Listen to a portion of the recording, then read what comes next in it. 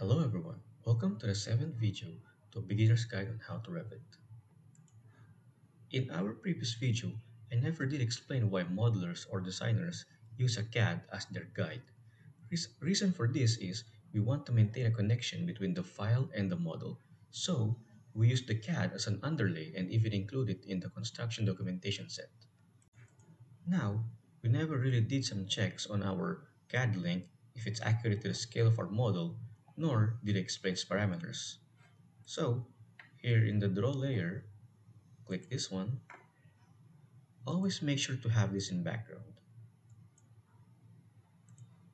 No idea why Revit didn't make foreground as a default, but if this was still in background, it would be behind our models and elements, so it would be very difficult to use it as our guide, nor even select it. So let's focus on the grid in the CAD link, and let's do an align dimension.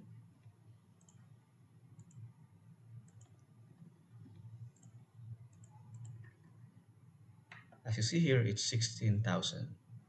Here is also 16,000, but let's check the decimal. It's zero. So now let's check the other grids. 11,500. Remember I told you something about witness line when using dimension lines? If you were to use a witness line here, the value becomes a value. It doesn't tell us a number. So that's why we have to use dimension line separately, like so. So in this way, we can see the value. So let's do the vertical one.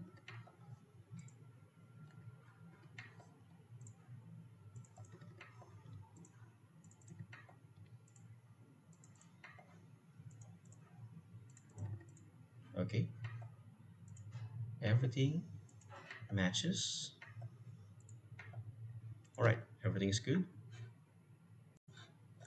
So next, we align the CAD link grid to the Revit grid. Let's make this longer first.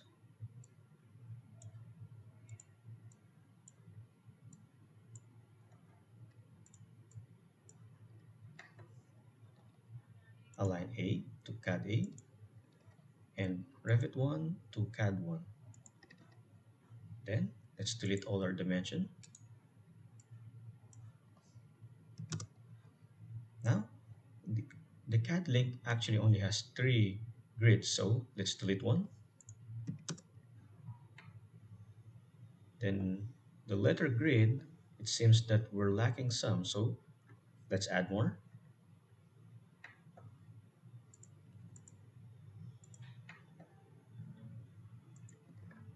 Once that is done, let's do an align command.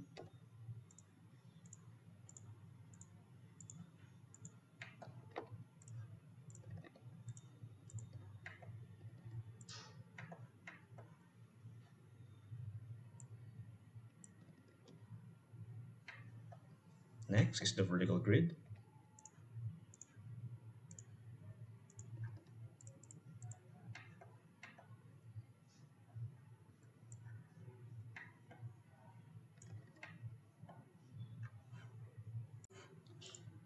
Once that is done, let's temporarily hide our CAD link. Then next is we pin the grid so we won't move them by mistake.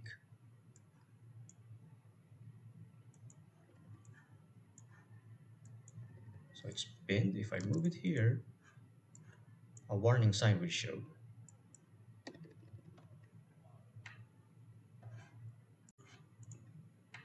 Now, looking here in the status bar, there are a few buttons. Clicking this button actually renders our capability to select and click some elements, especially the pinned ones. So if I were to click this, I cannot click our pinned element anymore. But we can still attach some objects to them, like let's make a wall in Zexo.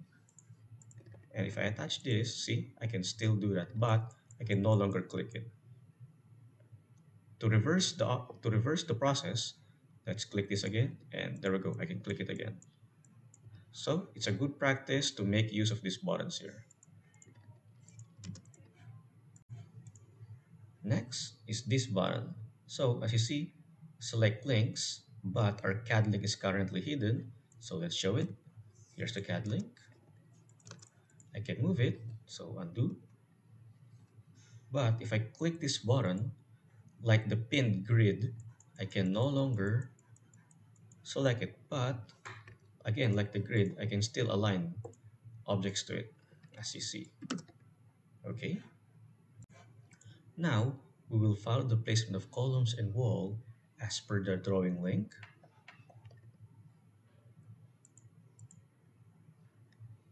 Some are, are already properly placed.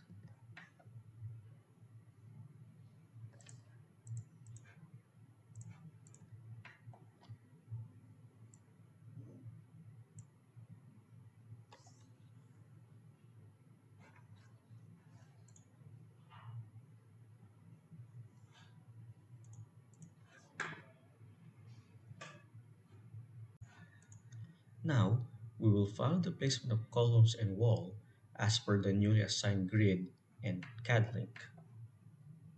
Let's hide this first.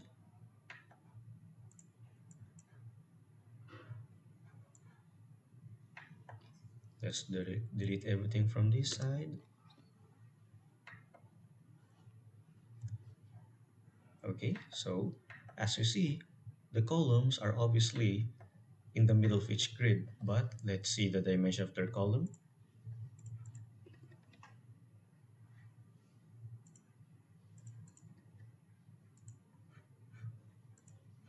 This is one example of why we were talking about the decimal earlier. So let's just round it off to 900 by 900.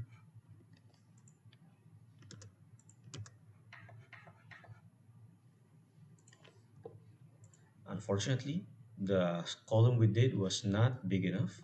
So let's make a new column.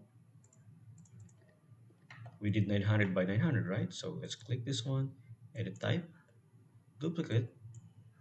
Let's name this one home underscore str for structural 900 by 900.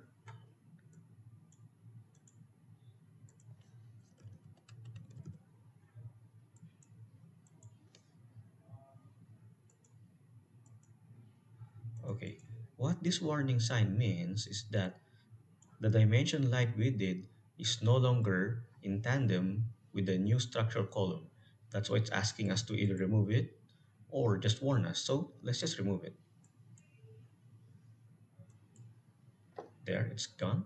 Let's look at let's look back in our CAD link. Okay, so does it properly match? It does. So let's now follow the CAD link.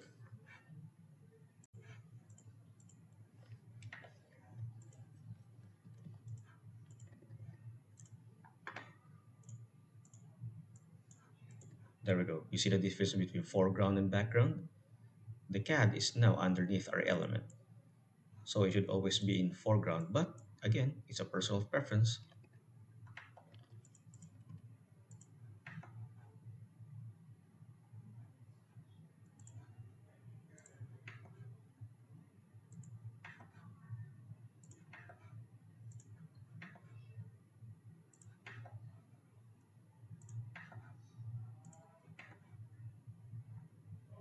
Okay, this column here looks a bit different. So let's skip that for now.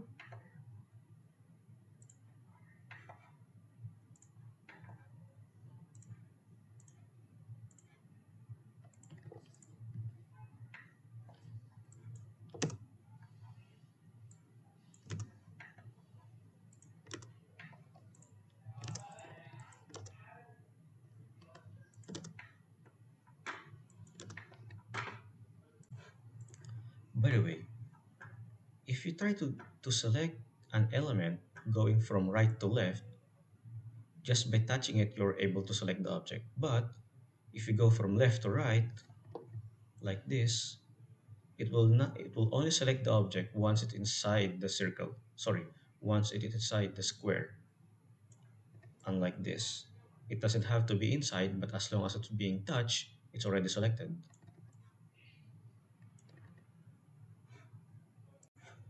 Now, let's look at our CAD again.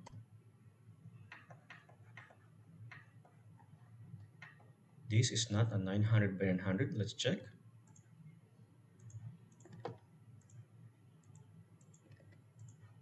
Okay. All right, it's 900 by 1200. So let's make a new column.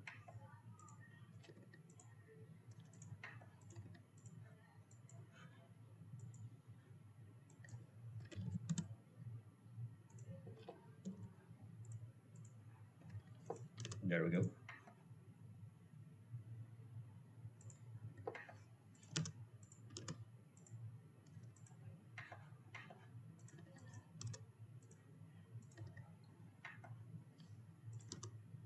I think all the columns are done. Let's hide it.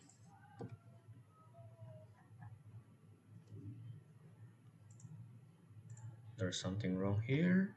So, usually this kind of thing doesn't happen where it's 15 mm from the grid and 14.9. So what we do here is, is we just align it properly. Something to add, you see how the border is very thick? To remove that, just click this button right here. Now that looks better. Next, let's do the walls. Let's start with the exterior wall.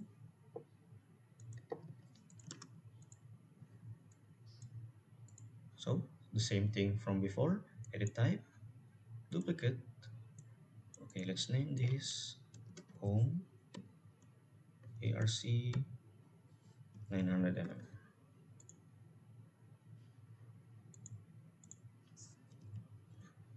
We gotta be consistent with our naming. It's a very good practice.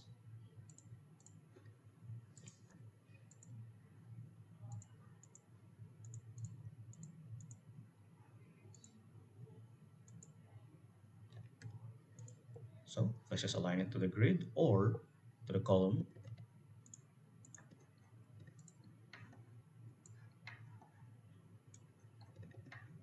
Okay, so let's just finish the exterior wall.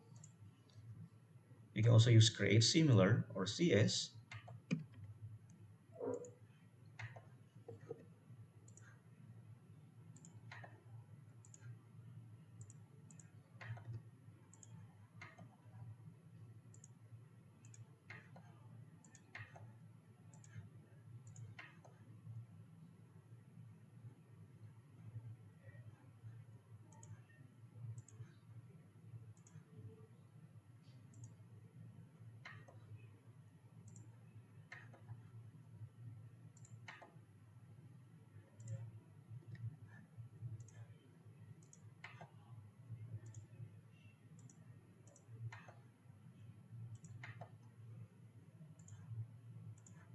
there. But we missed some small parts here. I apologize for the dead air. Now align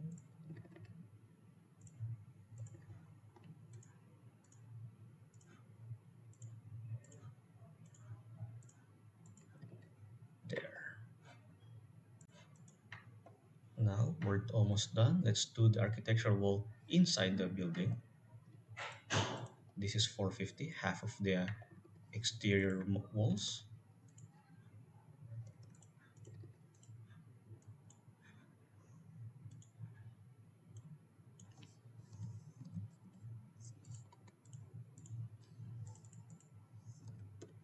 So of course since this is an inside wall the material should be brick. Let's like let's look for something maybe wood.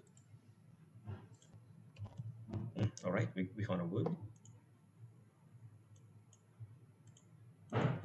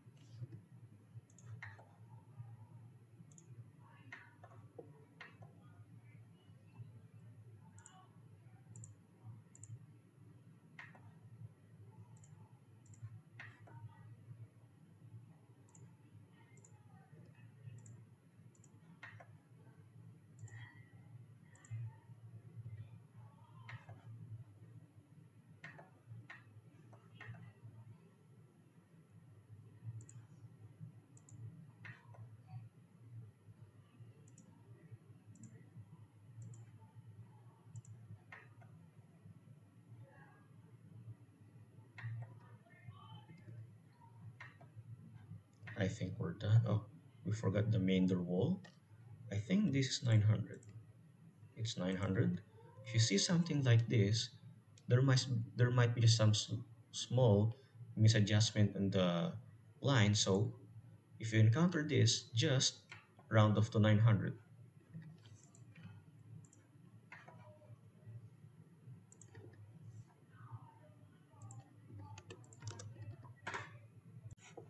Now, once done, let's do a zoom extend. Click the CAD, do a copy,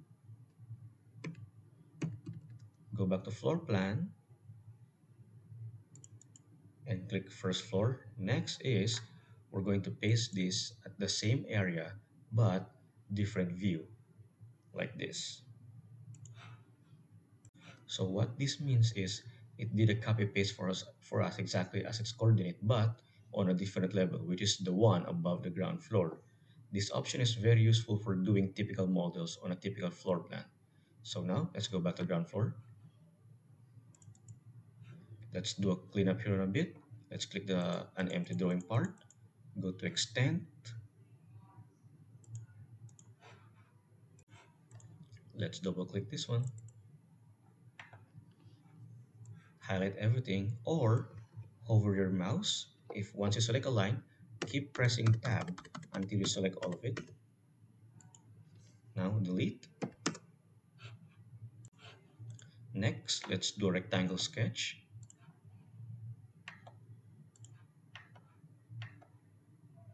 Alright, this should be good. Now, over your mouse again, tab, select everything, copy paste. Check. Now, we're done with the ground floor. Let's do the same for first floor. Properties palette.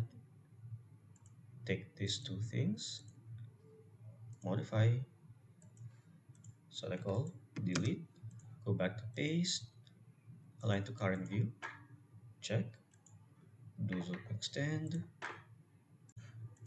Next is we untick this, do the same for ground floor, zoom extend. Now, as you see, when you try to move into different levels, their positioning are the same. So this is, this is an example of being consistent, which is a good practice again. So that's it for this video. Next up, we will do our flooring. For questions and suggestions, please do comment below and don't forget to like and subscribe. It will help me a lot. I'll see you in the next video. Thank you guys.